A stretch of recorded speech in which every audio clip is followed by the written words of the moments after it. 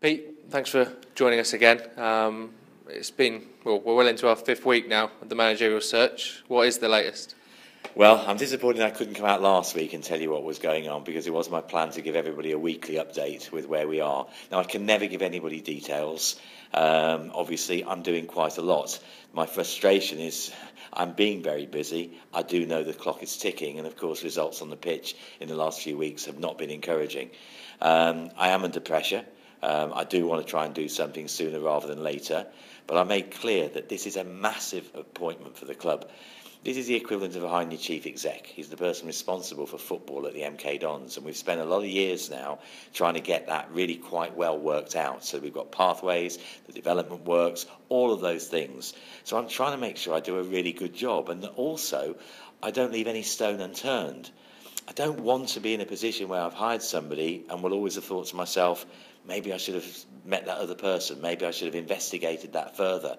Um, I've had some amazing things uh, come to me. We're a, a different club maybe than we were in the past, in that so many people have taken us so seriously, and, and, and that's fantastic. But it's actually been quite a burden because some of those things you absolutely have to investigate, even though they're they're a wild card. They're they're not likely to be able to come off. And all the time, what we're really trying to find is somebody who's going to take the club forward. Somebody's going to build on the hard work that's been there, but reverse our fortunes on the pitch at the moment and get us going back in the right direction.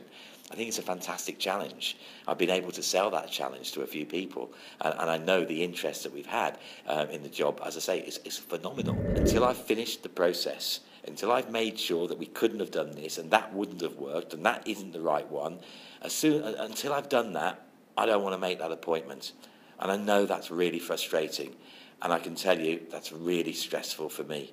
But at the same time, this is about our club. It's about getting it right. It's about doing it the MK Dons way. We have a DNA and a philosophy that I've been explaining to people um, over the last few weeks. And you know what? I believe it myself. So that's where we've got to try and stay.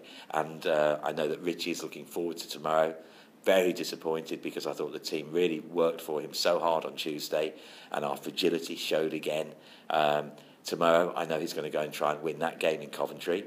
And if we can win, maybe we can all relax a little bit more. Um, if we don't, then I think that really stacks the pressure up again for an early rather than later decision.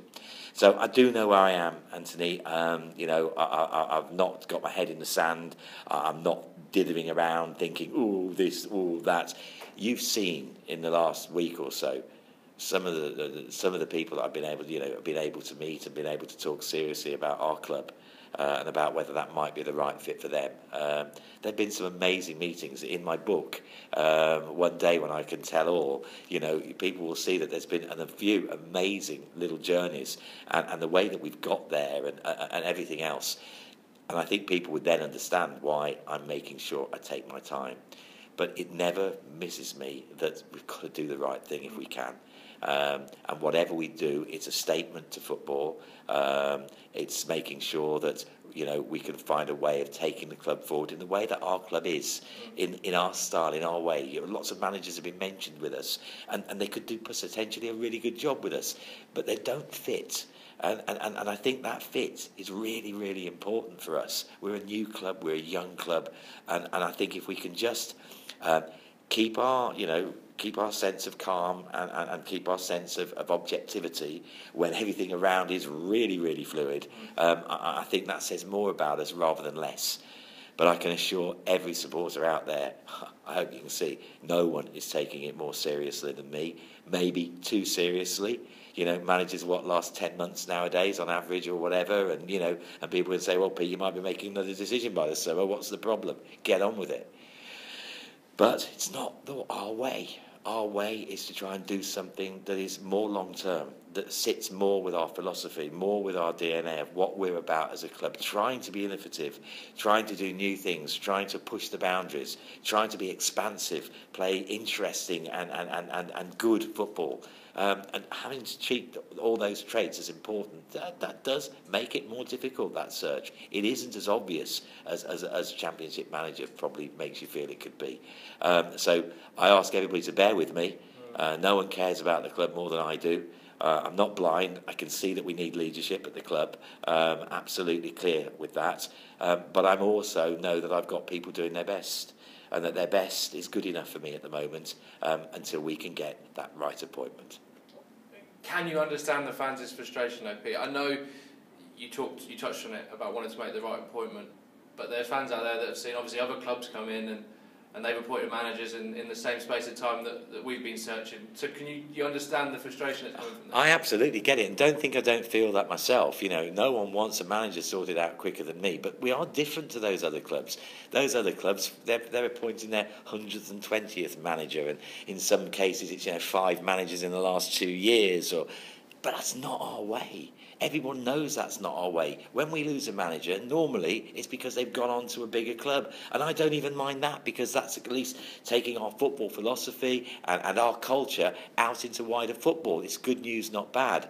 Um, other than that, we want to be long term because we want to be building things. The next few years of this club's development are crucial and are probably the most exciting time since we moved into this stadium. This stadium has taken 10 years to do instead of three.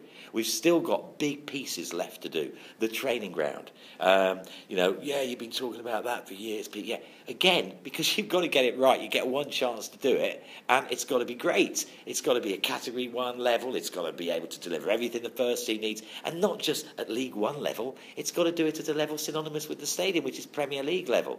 Now, Pete, you've been talking, how are you ever going to get it to the Premier League? I, I, understand all those logics. And there might be many different ways we have to look at before we find the journey to actually get there. But let there be absolutely no doubt from anybody.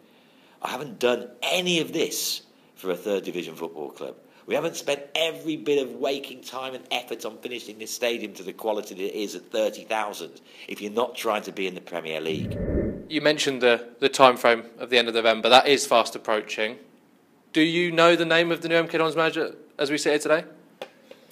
Well, I think I do, Anthony. Um, I, I think I know who I want, who is the most likely person to end up being able to make a deal with and make it actually happen and turn it into real life. Um, I think I do. Um, there's still a couple of things that are going on, which are extraordinary things um, that might cloud my judgment and my view. And that's why I haven't brought any of it to a head yet. What you have to have, and people that do deals in life will know this, you have to, things have to juggle. You have to have a few things going on at any one time uh, to know that one of those will land. And what I can tell you is the things I've got going on at the moment, um, I'm pretty comfortable if any of those things happen. They're, they're all on our original you know, our target is not the people that have come to us, but what we would have thought about, you know, when we've suddenly made that big decision after six and a half years. You know, when you come back, what are you thinking? What are you looking like? And on that first list is still the most likely people. But let me finish my process because, as I've said, there's a couple of things that, if they were able to happen, you know, uh, and we've seen one of those actually. We've seen one of those. We all know what one of those was. You know, they are so extraordinary that actually that changes your view. Would tell you to take more risk than you might otherwise have done. But as you investigate and explore those things, and the the practicalities become much less certain, then if anything, it kind of strengthens you on, on, on, on, your, on your kind of initial thoughts and direction. Um, but I want to get there in that right way because I don't want to do something. Maybe it works or it doesn't work, but I'm always thinking I maybe should have seen something else out. Or, you know, and other people will say to me, God, you had the child. Why didn't you do that? You know, you must have been mad. You know, and you can understand I've got, you know, hundreds of agents and managers got my phone numbers texting me, going, I'm going mad, you know, putting fantastic pitches in for us, you know, people that will work for nothing and, you know, all of that kind of thing. But you know what? It's about trying to get the right person. Um, and I think I know who it is. Um, and I hopefully will be able to tell you before the end of next week. Um, but until things are done, they're not done. And so I'm pragmatic enough to know never to be certain, um, but to explain as I'm going along that I think I'm still within my time frames I do. If anything changes, I will come out and say, you know, Anthony, the only reason I didn't come out last week with my update was because it was in the middle of the Steven Gerrard thing. There, I've said it. Okay, I've said it. Um, you know, which was amazing moments that then hit the papers. Oh my God, what do we do now? It was embarrassing that it hit the papers. Luckily, nothing else much seems to have hit the papers. Um, and I think we were just unfortunate that that, that did. Half of me is quite pleased at people know, because at least you can say, I am doing something, people, you know, but I know that anyone that knows me well knows there is no way that I'm not doing something every second of every day on it. A lot has been made about our appointment in the media. Um, one name in particular, obviously, last week.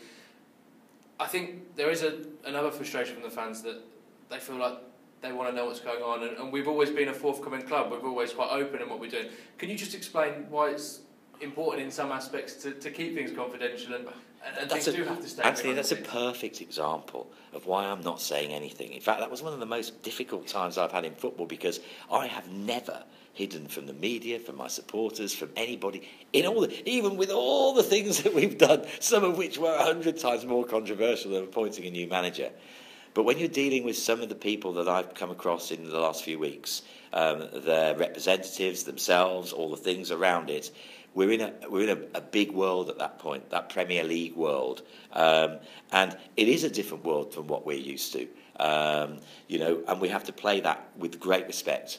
So I can't come out and tell you what I'm doing, even though, can you imagine how exciting just that one particular meeting was? And, and of course, all the build up to that, and the, oh, you know, this is why this is what has kept me going through the last few weeks and i know that that void when you're not able to tell anybody leaves a vacuum leaves a hole and people think oh he's doing nothing no i'm not doing nothing and could I really appoint somebody if you could have had somebody like Steven Gerrard take over at the MK Dons, if that was a possibility? Do I not have to go and look at that as a journey? Even though all the timing doesn't work, we all know that. The odds of it happening are really small, but the contacts that we're making, the, the, the people that I now know and the phone numbers for, you know, that's really valuable for the club going forward because these are people that will always be in senior positions in football. And what we've learned in any business, it's about who you know.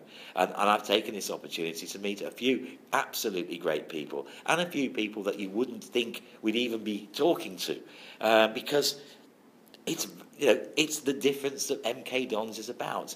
You know, when we appointed uh, Paul Ince, it was, whoa, where did that come from? You know, then we did a Roberto Matteo, went on to win the Champions League with Chelsea as a manager.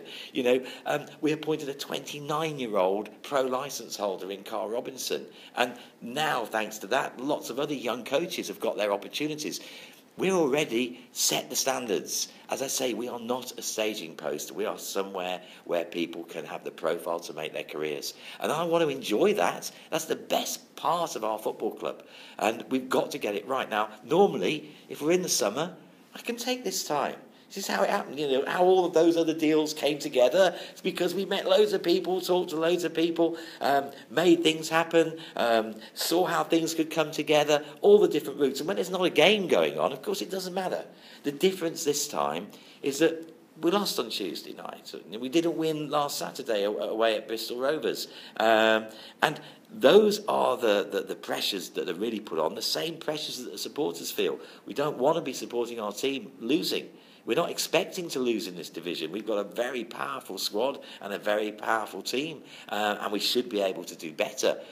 But I think again, uh, Richie um, has got that focus. I think we're all seeing the players starting to play for him. There's been a transition in that sense, and I'm wanting him to enjoy getting on with it. I'm, I'm hoping that my stress and pressure of this manager doesn't, you know, it probably is translating in the team. I've tried this week to make a real break from that. Let me get on with what I've got to do because I have to be 100% comfortable. What I'm saying to the managers that I'm talking to, potential managers that I'm talking to, if you cannot be 100% committed to doing it, we cannot do it.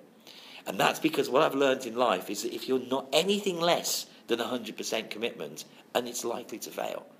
So, whoever you're talking to, that's what you need. But it's equally true for us. We have to be 100% committed as well. We have to want to believe in that person, believe in backing what they want to try and do, believe that that will fit into our general philosophy and, and how we work as a football club, can get the most out of the players and the most out of the staff. You know, there's lots of things we want our manager to do. So, I'm sorry to go on about it today, but, you know, of course I feel it when people, the criticism and the taking too much time and sat manager got jobs before us and all of those kind of things. It just shows that in the past I've made good decisions and, and I want to try and keep that track record going. And, and it is difficult in the season. It is different. It, it has been much more pressure than, than, than it should be. But it's also been pretty amazing MK Dons isn't a little League One football club. We could not be talking to the level of people that we've been talking to if we were a little League One football club. So, okay, at the moment on the pitch we are, and we've got to do something about that. But this isn't about one game, even one season. This is about our club making history. And if we get all of our pieces in place, starting with a new manager, then running through with a new training ground, and then within the next couple of years, we can look at how then do we leverage what we're doing to make sure this club is in the Premier League. Because that book I was talking to you about earlier, I can't write it until we get there.